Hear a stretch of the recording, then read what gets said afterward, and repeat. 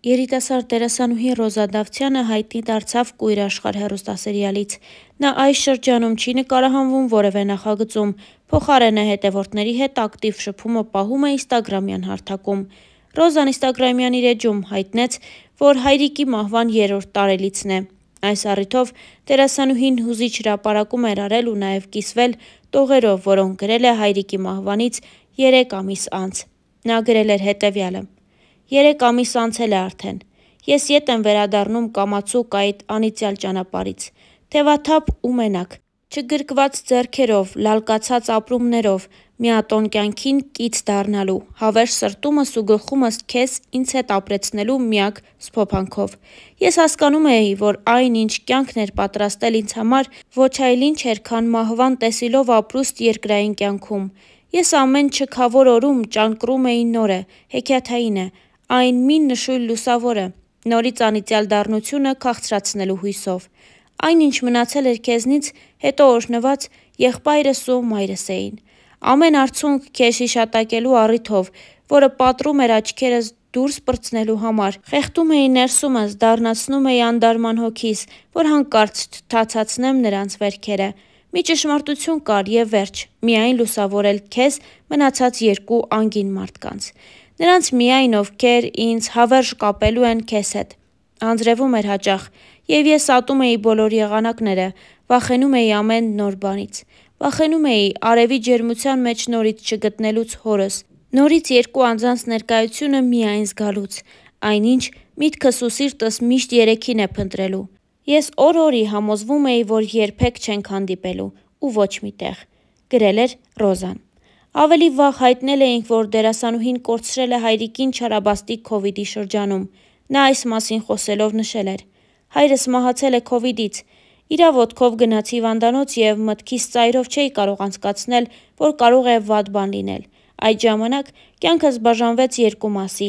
Այդ օրերից հետո մտածում էի,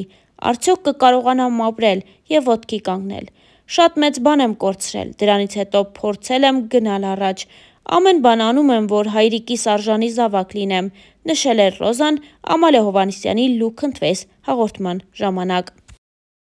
Նշենք նաև, որ Ամալիա Հովանիսյանն իր YouTube-յան ալիքով սկսել է Life-room-ի նոր շարքը «Սեր» խորագրով։ Հաղորդման հերթական հյուրը դերասանուհի Ռոզա Դավթյանն է իր մայրիկի՝ Լիանա Հակոբյանի հետ։ Զրույցի ընթացքում Ռոզան խոսել է մի շարք թեմաների մասին, այդ թվում մայրիկի հետ հարաբերությունների, անձնական կյանքի Եվ վերջում ազդեցիկ հորեղբայր ունենալու մասին։ Դերասանուհին նախ նշեց, որ մայրիկի հետ միշտ չէ, որ այսքան հարթ են եղել հարաբերությունները։ Ես ու մաման շատ տարբեր ենք։ Մաման ամեն բանի ռեալ է նայում, իսկ ես հեքիաթային։ Դրա համար էլ բախումները շատ են լինում։ Շատ ավելի փոքր տարիքում իմ ու իմ ծնողների միջև չկար անկեղծ խոսակցություն։ Գուցե ես դպրոցում ունենայի խնդիրներ, բայց տանը դրա մասին չէին իմանում։ Ինչ որ չափով դա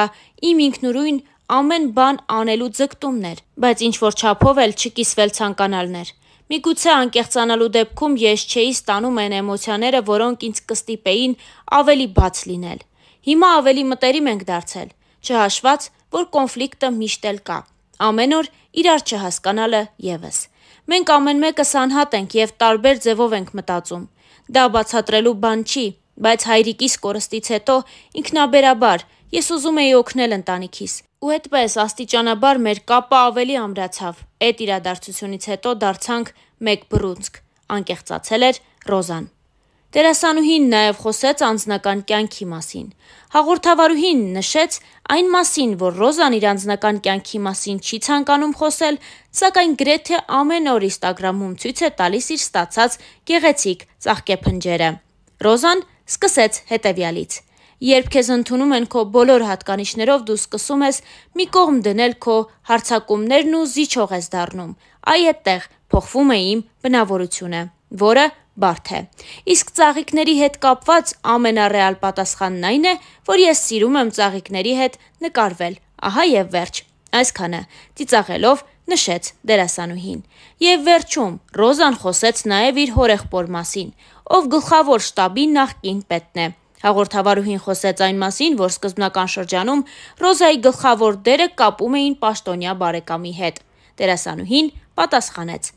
Այդ խոսակցություններին մաքսիմալ անիրական եմ վերաբերվում, որովհետև ինչքան ես սիրում եմ այս ոլորտը, Հոպարն այդքան չի սիրում եւ հաստատ իր նախաձեռնությունը չէր լինի, որ ես հայտնվեի այս ոլորտում։ Դրա համար էլ դրանք անիրական են ինձ համար, անկեղծացել էր Ռոզան։ Դե իսկ Star News-ը այս հոլովակի համար առանձնացրել էր այսքանը։ Ձեզ ենք ներկայացնում նաև մի հոլովակ, որտեղ Ռոզա Դավթյանը խոսում է իրեն վատ մեկնաբանություններ գրողների մասին եւ ոչ միայն։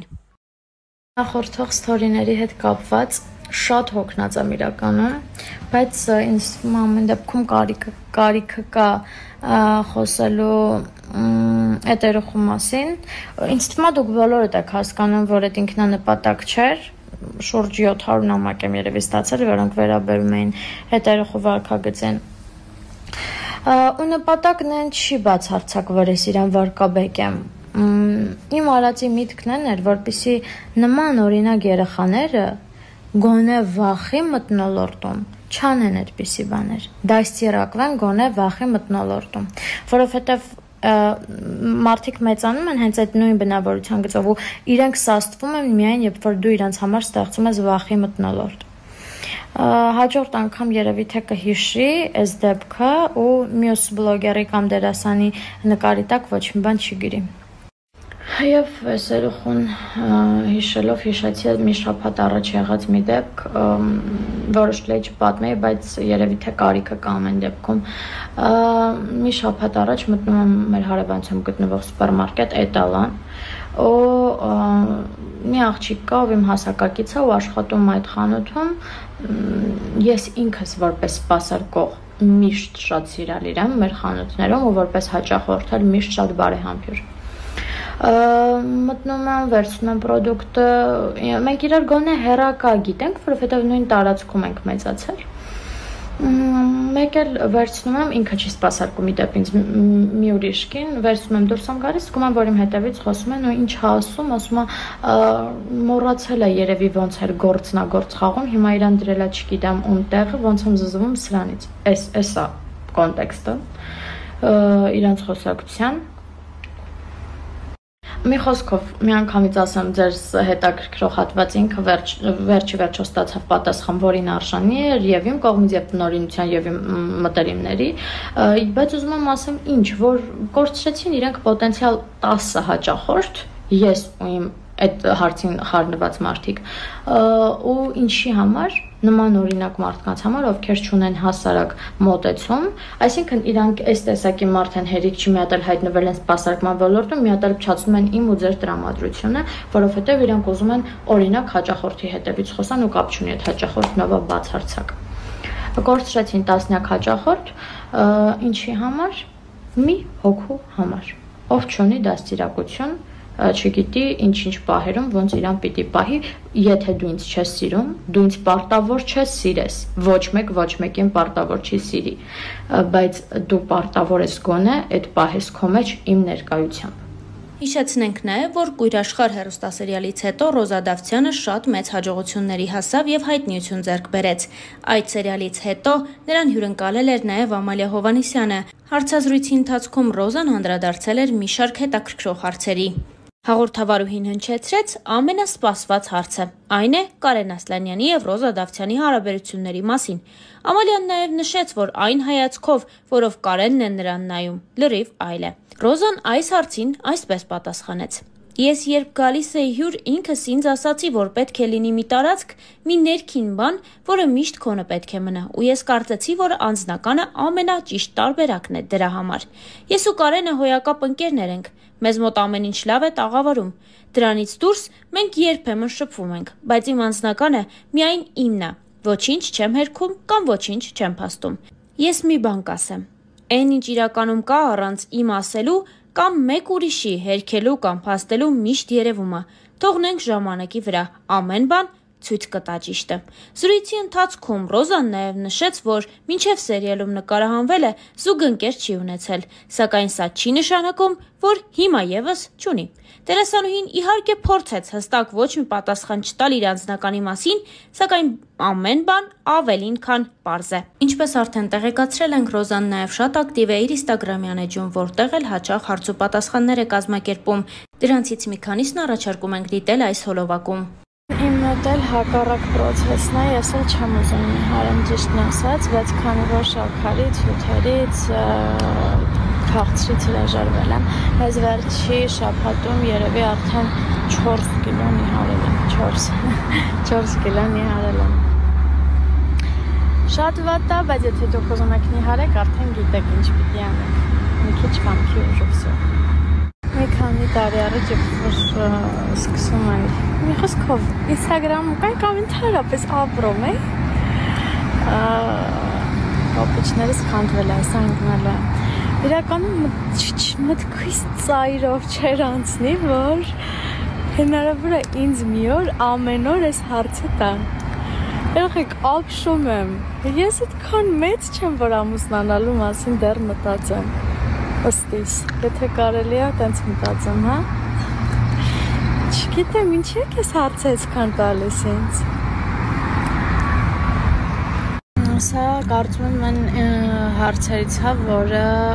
մի պատասխան իր մեջ չի ներառում, այլ շատ ու շատ պատասխաններ, որովհետև ինքը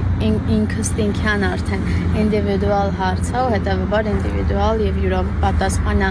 ակնկալում։ Տեսեք, եթե օրինակ ունեք քթի կոմպլեքս, արտաքին կոմպլեքսների մասին էսպես խոսենք, դրա լուծումը արդեն դուք կարող եք տալ, բայց եթե խոսքը ներքին կոմպլեքսների մասին է, դա արդեն հոգեբանական մոտեցում է պահանջում։ Չգիտեմ, կան իրականում կոմպլեքսներ, որոնք այնքան էլ կոմպլեքս չեն, ինչքան մենք ենք դա դարձնում այդպեսին բայց արդեն ներքին կոմպլեքսները դրանք լուրջ բարդույթներ են, որոնց դեմ պիտի հոգեբանորեն պայքարեք։ Չգիտեմ ինչքանով կարողացա օգնեմ, շատ դժվար հարցեր, դժվար պատասխանել ակնկալում էր։